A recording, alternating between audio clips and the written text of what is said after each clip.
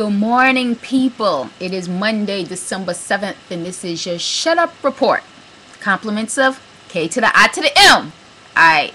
Uh, first up, Miss Info is reporting that Jeezy and the guy called Gecko, also known as Gucci, formed some type of truce. I had a truce live on air with DJ Drama.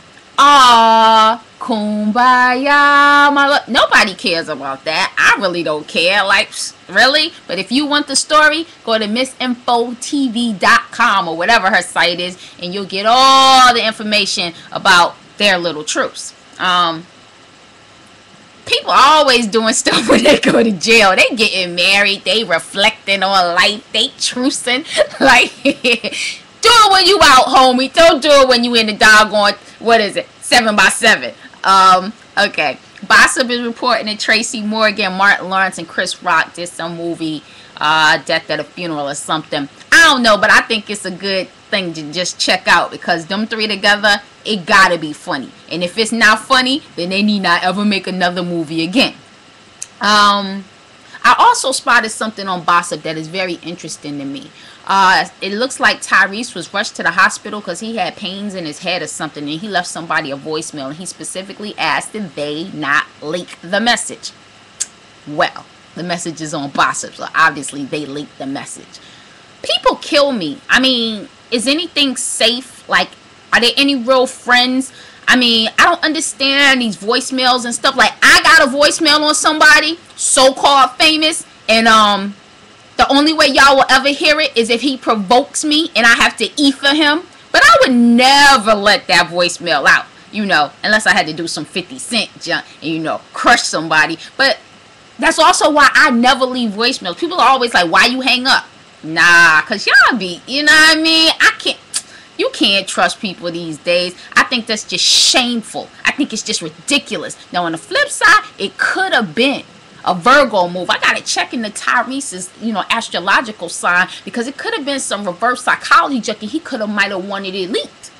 Because, you know, I do stuff that I know people going to do stuff back. You know what I mean? So it could have been a whole little thing, but I don't think so. But anyway, that's what's up with that. Um, this Tiger junk is just out of control. Like people are seriously going crazy over Tiger Woods. They ain't do this much over the doggone governor messing with the strip, the hooker. You know, it's like Tiger ain't forming laws. Who cares what Tiger's doing? Who cares if he's paying people off? He got money to pay people off. Let him do him. This whole Tiger mess is ridiculous. You know, so that thing just bothers me.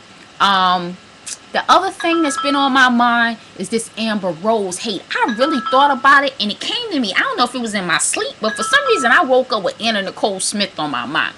And then I thought, Anna was that chick, stripper wise, to come up. Like she she snagged a billionaire.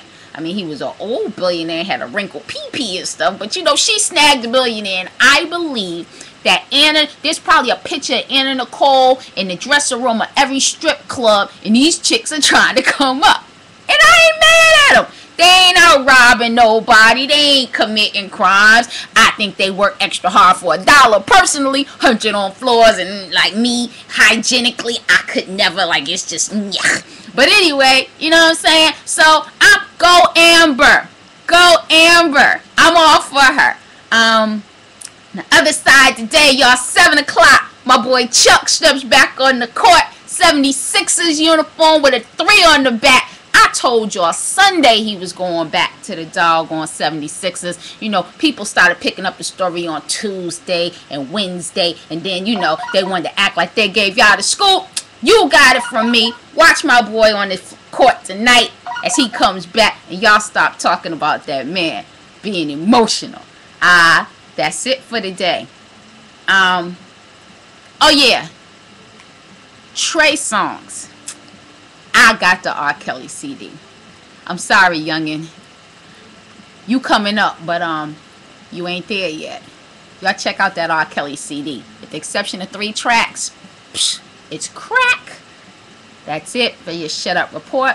I see y'all on Tuesday. Back to these books, man. Bye.